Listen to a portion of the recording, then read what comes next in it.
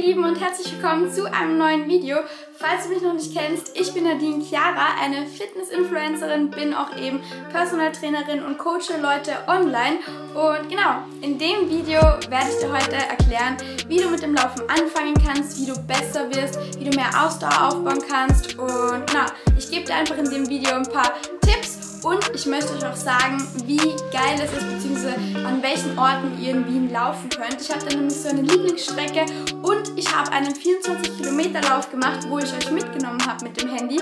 Und da werde ich auch so ein bisschen was einblenden und euch einfach ein paar Tipps geben und das Ganze jetzt erklären. Also, falls du besser im Laufen werden möchtest, dann bleib auf jeden Fall bei dem Video dabei. Different summer, different car keys. I'm the life of the party. Might buy a bike like a Harley. Totally do so. So, vielleicht kurz zu mir, wie ich zum Laufen gekommen bin, weil ich verstehe alle Leute, die das Laufen hassen. Ich habe Laufen früher wirklich auch gehasst. Es, ich habe nur Krafttraining gemacht und keiner hat mich aufs Cardio-Gerät gebracht. Ich habe es wirklich gehasst.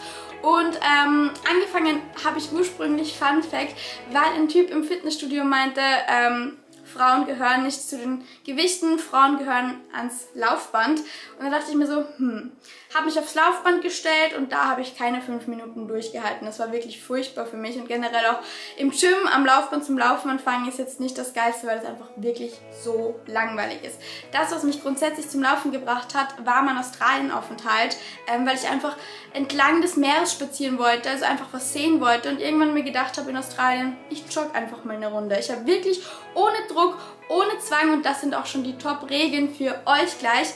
Ähm, ich habe ohne Druck, ohne Zwang angefangen, nicht irgendwas im Hinterkopf zu haben, wie ich muss jetzt laufen, um abzunehmen, um Kalorien zu verbrennen. Macht euch auch keine Distanz wie ich muss jetzt 5 Kilometer laufen oder 10 oder 3 oder was auch immer. Ich muss jetzt 30 Minuten laufen. Nein, so kann man nicht anfangen. Fangt wirklich einfach mal an.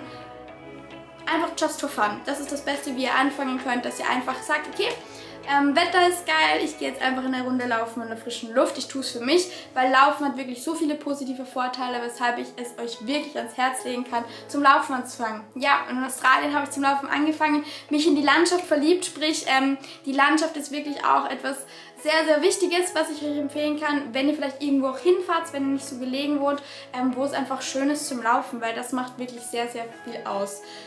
Ähm, genau, vor dem Laufen, ihr braucht gute Laufschuhe und was ich euch empfehlen kann, während dem Laufen, entweder was ich auch gerne mache, wenn die Umgebung geil ist, einfach die Natur haben. Es ist sehr interessant, wenn man an Leuten oder der Natur vorbeiläuft, einfach so das zu hören oder ihr hört einfach eine geile Musik.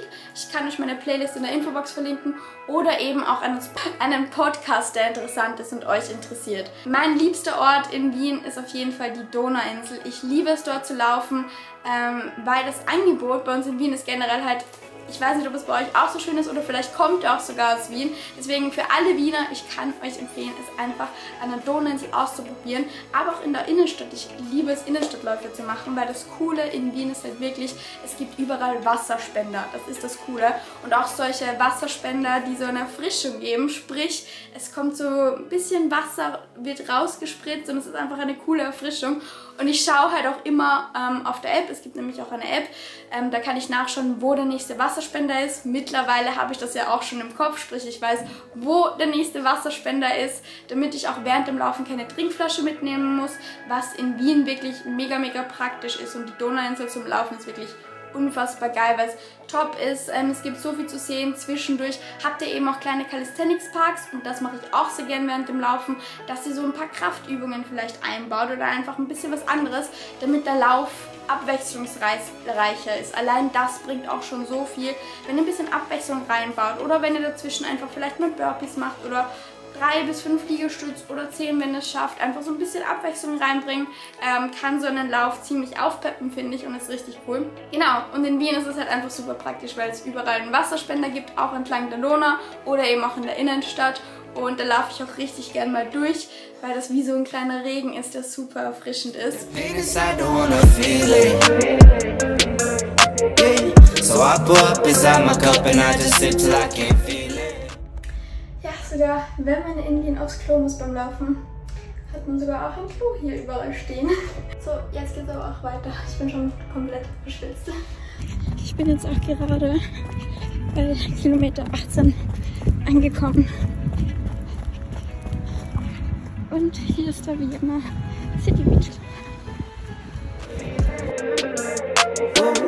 I know it won't solve my problem, but I know it makes a difference. One more sip I'ma fix it. Out my body when I'm tempted. I told her one more, she hit me say you quit or she dipping. Yeah, yeah. I don't want pain no more. I don't want no more pain. I ain't gon' see no way. Look at that with no pain. See the rain coming down, but it is not purple today. Came a long way from stacking and rolling that change.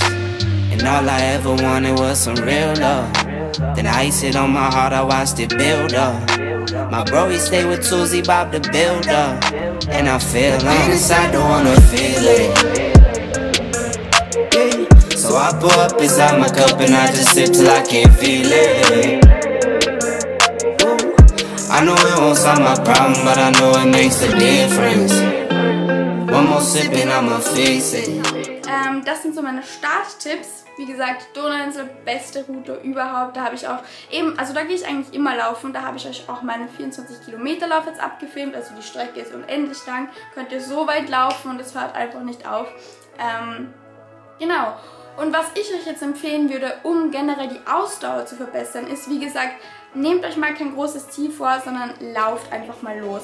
Aber das, was wirklich wichtig ist, ist die Kontinuität, sprich, dass ihr regelmäßig laufen geht. Ihr könnt nicht einmal in zwei Wochen oder einmal in einem Monat und euch erwarten, dass Laufen, dass ihr besser werdet. Sprich, Kontinuität ist sehr wichtig, vor allem am Anfang. Sprich, ich empfehle euch drei bis viermal die Woche. Es muss nicht unbedingt lang sein, aber versucht euch schon ab und zu herauszufordern. Wenn es am Anfang nur 10 Minuten sind, allein 10 Minuten ist schon top, dann versucht aber einen Lauf in der Woche mehr als 10 Minuten zu machen. Und so würde ich das wochenlich steigern, dass ihr wirklich so drei bis vier Läufe und ein Lauf ist immer so ein bisschen länger als die anderen.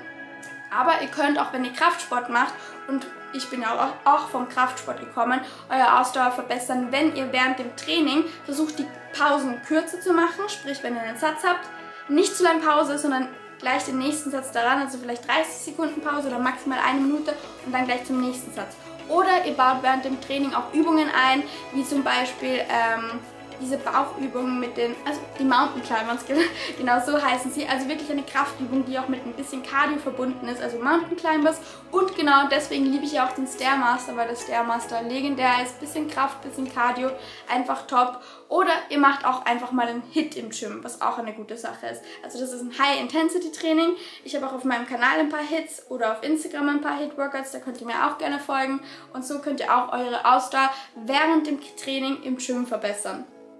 Und ansonsten ist das A und O wirklich die Kontinuität, dass es für längere Zeit durchzieht. Klar, es ist vielleicht am Anfang so eine kleine Überwindung, ähm, aber denkt euch, ich, und nicht denkt euch, ich kann euch versprechen, nach einiger Zeit wird euch das Laufen wirklich leichter fallen.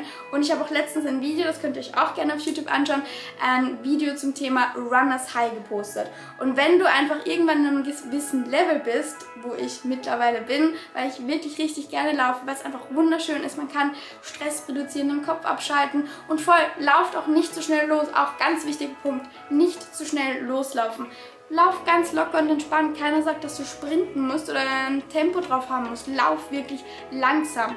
Auch wenn es viele, auch meine beste Freundin zum Beispiel, ich war mit ihr laufen und sie ist einfach so schnell gelaufen und da dachte ich mir schon, so hält das doch keiner lange durch. Und sie meinte, ja, sie dachte eigentlich, das ist so ein normales Lauftempo, was sie laufen müsste. Nein, ihr könnt wirklich, wirklich langsam laufen, euch Zeit lassen und in eurem Tempo laufen. Das ist ganz wichtig. Genau, und wie gesagt, nehmt euch am Anfang nicht zu viel vor. Also sagt nicht, ihr müsst die Kilometer schaffen oder die Zeit oder so. Ich meine, es ist gut, so ein ungefähres Ziel zu haben pro Woche.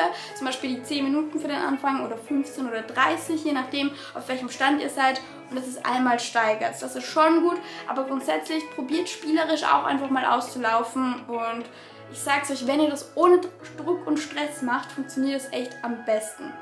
Und das ist das Wichtigste, dass ihr euch nicht unnötig zwingt und einen Stress macht. Klar, am Anfang wird es noch schwerer sein, das ist normal, dass es am Anfang schwerer ist, aber ich war auch dort und ich kann euch wirklich versprechen, das wird mit der Zeit besser. Zum Thema Runners High nochmal kurz. Ähm, wenn ihr so in einem gewissen Stadium seid, wo Laufen einfach leicht für euch ist, also euch nicht mehr schwerfällt und ich verspreche euch, das kommt nach einiger Zeit, ähm, dann ist es auch so, dass Laufen wirklich eine Entspannung ist und viele Läufer, unter anderem auch ich, in dieses Runners High kommt. Wie gesagt, mehr dazu im letzten Video. Runners High ist einfach legendär. Ich liebe dieses Gefühl. Es fühlt sich halt echt so ein bisschen an wie High sein durch das Laufen, weil Hormone ausgeschüttet werden und ich liebe das einfach und das macht unglaublich glücklich. Ähm, wie gesagt, mehr dazu im letzten Video. Und genau, das war es auch eigentlich. Ähm, mehr Tipps gibt es eigentlich gar nicht. Sucht euch eine schöne Landschaft aus. Ähm, vielleicht schaut euch das Video einfach nochmal an und schreibt ein paar Stichpunkte mit, ähm, die euch eventuell helfen könnten. Und ja, ich kann euch nur sagen, wenn ihr einmal drin seid in diesem Laufen, dass es nicht mehr so ein Druck ist, ist Laufen wirklich eins der schönsten Dinge, weil ihr auch überall laufen könnt.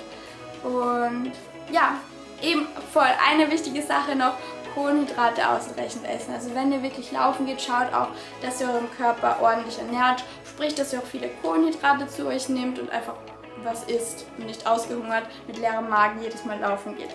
Ja, ich hoffe, das Video hat euch gefallen. Falls ihr noch Fragen habt, könnt ihr mir gerne auf Instagram schreiben oder hier unter dem Video.